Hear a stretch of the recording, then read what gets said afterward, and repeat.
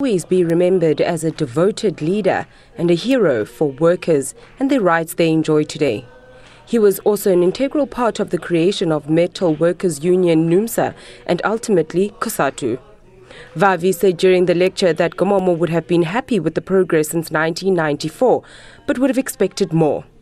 Gomomo would have been deeply disturbed today that we face the unprecedented wave of strikes and community protests because millions of South Africans feel they have been left out of the new South Africa.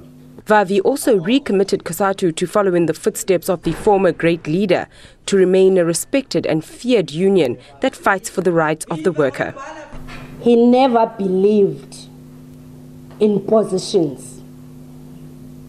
He will say, I am not there positions.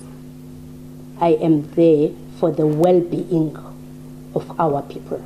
John Gomomo also served as a member of parliament after his time at the helm of COSATU. Ifu Poti, SABC News, Port Elizabeth.